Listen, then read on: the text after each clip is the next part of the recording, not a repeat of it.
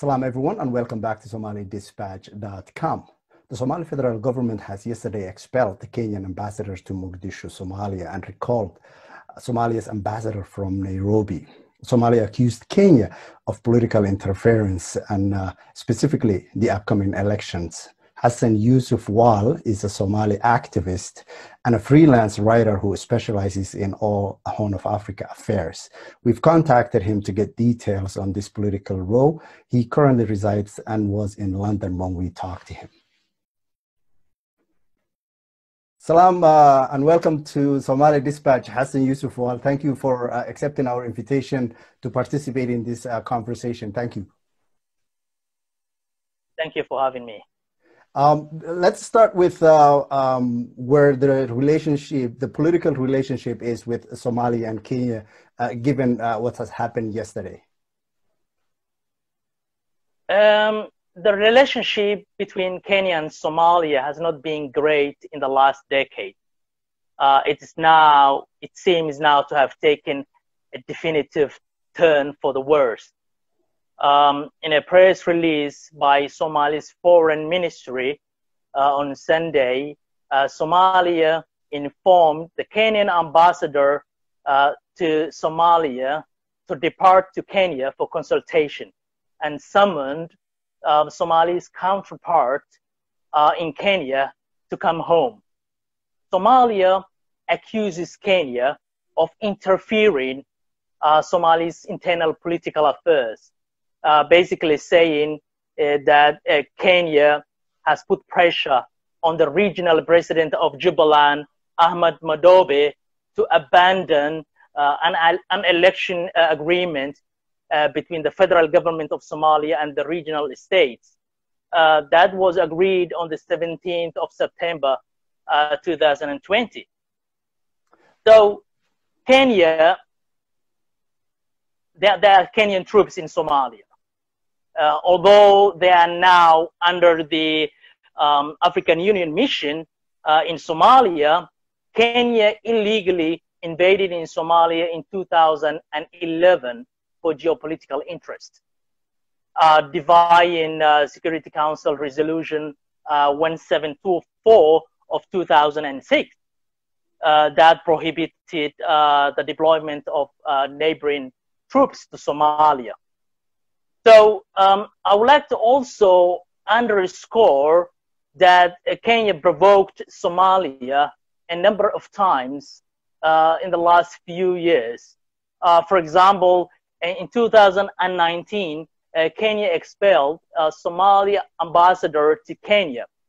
Um, also, Kenya in, in 2019, in May, Kenya detained uh, Somalian diplomats uh, who were uh, entering the country. Also, in 2020, uh, you know, the Kenyan army or the Kenyan troops uh, killed civilians in Gedo region in, in Somalia. So also, uh, Kenya invited a, a proxy for Jubaland militia to Kenyan territory to attack uh, Somali army. So um, on the other hand, uh, Kenya today uh, denied uh, the accusations of Somalia.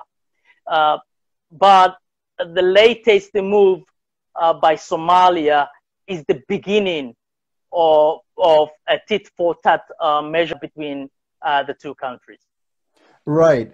And it, it, is it fair to also assume that the current Somali political situation uh, specifically the upcoming elections of 2020, 2021, uh, has uh, something to do with this escalation, recent escalation. Um, William Ruto, as you know, the, the VP, uh, Kenyan VP, recently said uh, Kenya is looking forward in dealing with the next Somali uh, government or president. Is, does that have, does that, has that added to the role? I think that has got bearing on, on the latest, uh, uh, you know, uh, accusation of Somalia, of Kenya intervening in the election um, situation in Somalia. So uh, Ruto said that they don't because they, they couldn't deal with Farmajo. They think Farmajo um, is not the, the, the, the, you know the leader who could agree what they call their terms. So they actually want another person. They just lobbying for another another another presidential um, candidate. candidate. to replace um, Farmajo. But I don't right. I don't know if that will happen or not. Right. Uh, uh, no one seems to know if that would actually happen. But uh, what are um, what are the other uh, sources of, of problems that cause the deterioration of the relationship between Kenyan government and, and the Somali uh, government? So there are two issues, um, you know, uh, behind this, you know, political standoff. Uh, one is uh, the maritime dispute, the Indian Ocean maritime dispute, uh, and the other one is the, uh, the the trade, you know, the Miraa, you know, the Miraa trade. Right. So um, so basically, what's happening is uh, Somalia tried to resolve the the maritime dispute uh, between uh, you know Kenya and Somalia uh, through um, a dispute um, resolution mechanism available under AU and IGAD, um, but that didn't help. So Somalia opted for international arbitration. So Somalia took the matter to International um, Court of Justice at Hague in 2014. So what happened is Kenya, in, in 2017, Kenya tried to stop the hearing. So, uh, but they did not succeed. Since then, Kenya tried to pressure Somalia to withdraw uh, the case. Somalia refused uh, to, you know, to accept Kenya's, um, uh, you know, uh, offer and, and, and, and said that, you know, that they should uh, let the court decide the outcome of the, uh, of the, of the, of the dispute. On the other hand, Somalia banned the Miraa trade. So Somalia believes that khat is detrimental to the society and it has got a, negative impact on society. And as you may aware, um, the, the, the, the, khat, the Miraa, has been banned in many countries around the world, including um, UK and America and, and Holland and Netherlands. So khat is regarded in Somalia, you know, it, is it is like a drug. So the Somali government decided to, to ban the, the trade of the Miraa.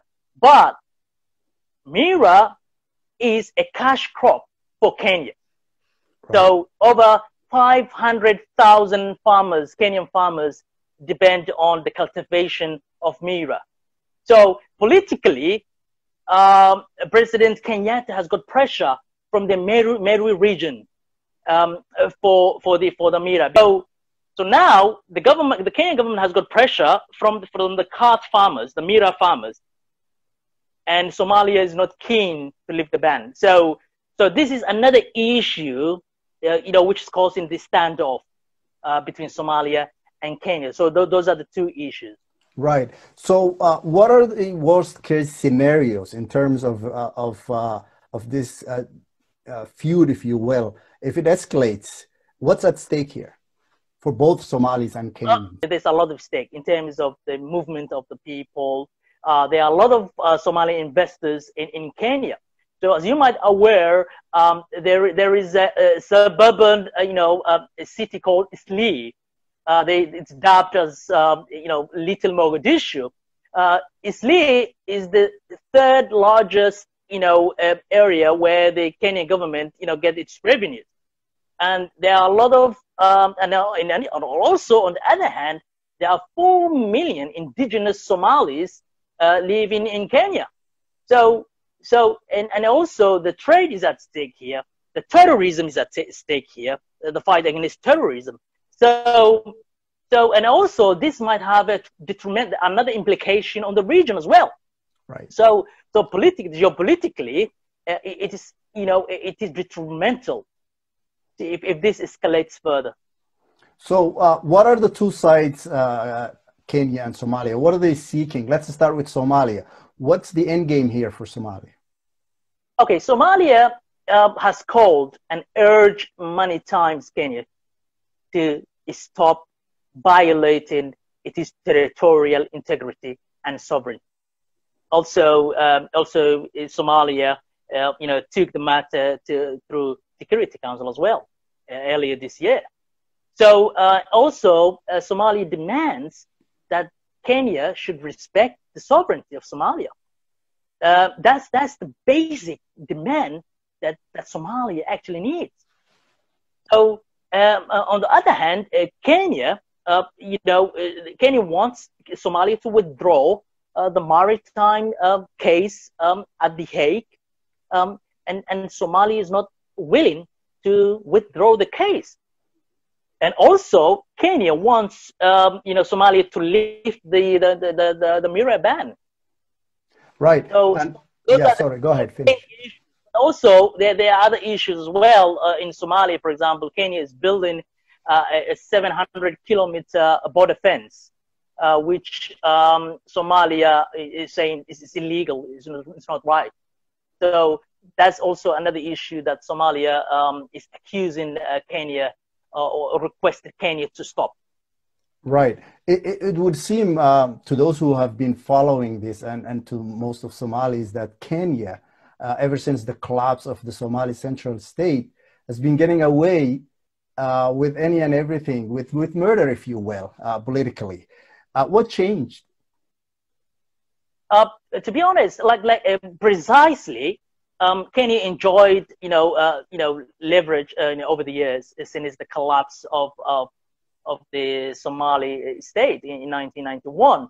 Um, however, uh, recently uh, things have changed uh, because the current government um, stand tall uh, against any aggression, and and that is what Kenya doesn't like. Kenya actually, to be honest, Kenya had a client-patron relationship with some of the uh, Somali business elites and politicians. And, and, that has come to an end uh, uh, by the current administration.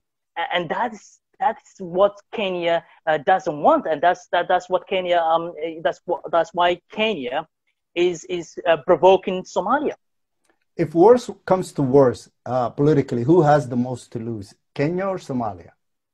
Uh, to be honest, uh, both, uh, both uh, they will lose. Uh, you know, both they will lose. and more importantly, um, you know, Somalia is a country which is recovering um, from a post-conflict, um, you know, period, as you like, and and they are trying to progress. but but on the other, other hand, Kenya is a stable country, and and they don't actually need um, uh, you know to kind of you know to kind of meddle uh, you know the the domestic affairs of, of another of another country.